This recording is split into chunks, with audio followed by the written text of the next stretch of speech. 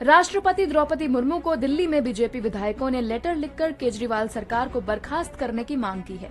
चिट्ठी को राष्ट्रपति कार्यालय ने गृह मंत्रालय के पास भेज दिया है। रिपोर्ट्स के अनुसार लेटर में लिखा गया है, दिल्ली के मुख्यमंत्री अरविंद केजरीवाल जेल में हैं। ऐसे में सरकार के कामकाज से जुड़े कई काम अटके हुए हैं। फाइलों पर साइन नहीं हो पा रहे हैं। लेटर में विधानसभा में विपक्ष के नेता विजेंद्र गुप्ता समेत सात विधायकों और एक पूर्व विधायक के साइन है। दरअसल दिल्ली के मुख्यमंत्री अरविंद केजरीवाल को दिल्ली शराब नीति से जुड़े मनी लॉन्ड्रिंग के मामले में ईडी ने 21 मार्च को गिरफ़्तार किया था। फिर सीबीआई ने भ्रष्टाचार मामले में उन्हें तिहाड़ जेल से ही 26 जून को गिरफ़्तार किया था। सुप्रीम कोर्ट ने 12 जुलाई को ईडी मामले में केजरीवाल को अंतरिम जमानत दे दी थी, लेकिन भ्रष्टाचार मामले में वो जेल में है। सुप्रीम कोर्ट ने 5 सितंबर को सीबीआई केस में गिरफ्तारी को चुनौती देने वाली उनकी याचिका पर फैसला सुरक्षित रख लिया। गिरफ्तारी के बाद अरविंद केजरीवाल ने मुख्यमंत्री पद से इस्तीफा नहीं दिया।